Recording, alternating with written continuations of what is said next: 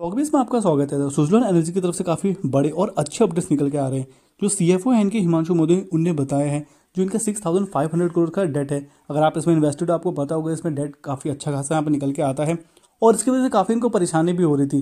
But अब जो सी F O है, उनका कहना है कि जो ये परेशानी अब ये दूर होने वाली है, लगभग हो ही चुकी है, ऐसा इनका कहना है। वो क्यों कहना है, इनका डिटेल में इनने बताया है यहाँ पे। तो सबसे पहले तो बता दो जो इनका थर्टी फाइव हंड्रेड करोड़ का जो एक्सपोजर होगा डेट का उसके बदले वो इक्विटी दे देंगे जो S B I led sixteen bank होंगे उनको।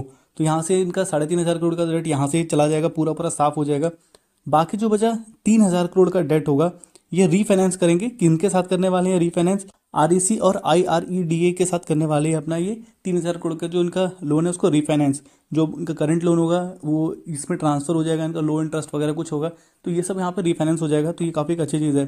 सिर्फ़ इतना ही नहीं है साल के एंड तक ये बारह सौ करोड़ का यहाँ पे राइट इशू भी होगा, जो तीन हज़ार करोड़ का जो रिफाइनेंस होगा, उसको पे करने के लिए। यहाँ पे आप आगे चल के देख सकते हो कि नेट डेट फ्री कंपनी भी बन सकती है यहाँ पे। तो ये काफ़ी बड़ी डेवलपमेंट है यहाँ पे, क्योंकि इसका जो डेट वाला चीज़ है, जो सिक्सटी फाइव हंड्रेड करोड़ का डेट है, ये बहुत ही बड़ी चीज़ है और बहुत बड़ा कंसर्न है इनके काफ़ी टाइम से। इसकी वजह से शेयर भी यहाँ पे बढ़ नहीं रहा था। एंड अगर अभी की बात करें तो debt to operating profit ratio है थ्री रेशियो वन है, जो बहुत ज़्यादा ही खराब है यहाँ पे। यहाँ पे वन रेशो वन के नीचे ही होना चाहिए तो अभी देख सकते हो कि काफ़ी ज़्यादा इसके वजह से शेयर में प्रेशर भी देखने को मिलता है। इसके बाद यहाँ पे ये वन रेशो वन से नीचे आ जाएगा डेट इसका कम हो जाएगा। जो अभी इनका जो प्लान है डेट रिपेमेंट का, उसके हिसाब से इनका जो डेट है, वो ट्वेंटी फाइव हंड्रेड करोड़ के आसपास आ जाएगा। बट इनका प्लान है कि इससे भी फर्दर डाउन करने का यहाँ पे। जो इनका सी उनसे फर्दर पूछा गया, जो इनके नॉन कोर एसेट्स है, उनको बेचने का क्या प्लान है तो यहाँ पे उन्होंने कुछ, यहाँ पे ऐसे कुछ क्लैरिफाई नहीं दिया।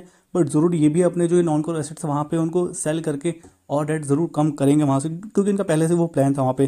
तो यहाँ पे भी आपको फोकस रखना चाहिए कि और ये डेट कैसे कम कर सकते हैं। तो देख सकते हो कि धीरे धीरे आपको ये पूरा डेट ही अपना क्लियर करते देखने को मिल रहा है। और जो आर के साथ रीफाइनेंस करेंगे, उनका जो टेन्योर होगा लोन का वो बीस साल से कम का ही होगा। हालाँकि लॉन्ग टर्म का लोन होगा बट बीस साल से कम का होगा। तो ये काफ़ी लंबे टाइम का होगा तो इसमें कोई हैवी प्रेशर नहीं पड़ेगा।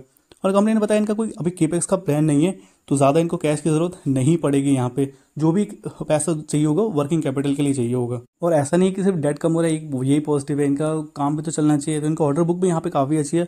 और इनका एक्सपेक्टेड है कि यहाँ से भी ऑर्डर इनको अच्छे खासे मिलने वाले हैं, जो गवर्नमेंट की जो पॉलिसीज़ वगैरह यहाँ पे निकल के आ रहे हैं यहाँ पे।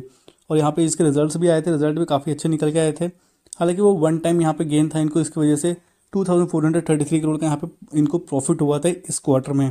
हालाँकि आगे चल के इनके जो ऑपरेटिंग प्रॉफिट है वो बढ़ने की उम्मीद है यहाँ से ऐसा कंपनी ने बोला है। और जो इनके सीएफओ ने ये भी साथ में बताया कि जो जो दो क्रेडिट रेटिंग एजेंसी इन इनके रेटिंग भी सुधार दिए यहाँ पे इम्प्रूव कर दिया यहाँ पे जो रीफाइनेंसिंग की बात है तो ये काफ़ी एक अच्छी चीज़ है कि जो क्रेडिट रेटिंग एजेंसी है वो भी यहाँ पे थोड़ी थोड़ी यहाँ पे बुलिश होती जा रही है तो एक एक, एक पॉजिटिव साइन होती है किसी भी कंपनी के लिए। तो यही अपडेट था अगर आपको ये वाली न्यूज़ पूरी पढ़नी है तो आप हमारा स्टॉक बेस का न्यूज़ आप डाउनलोड कर सकते हैं, जिसका लिंक आपको डिस्क्रिप्शन में मिल जाएगा। जहाँ पर हम सिर्फ़ से स्टॉक मार्केट की ही न्यूज़ अपडेट करते हैं तो वो भी जाकर आप डाउनलोड कर सकते हैं। आपके इन्वेस्टमेंट ट्रेडिंग के लिए काफ़ी ज़्यादा हेल्पफुल रहने वाला है। तो चलिए ठीक है आपको वीडियो, चलिए वीडियो को लाइक कीजिएगा शेयर कीजिएगा और चैनल को बिना सब्सक्राइब किया बिल्कुल मत जाइए।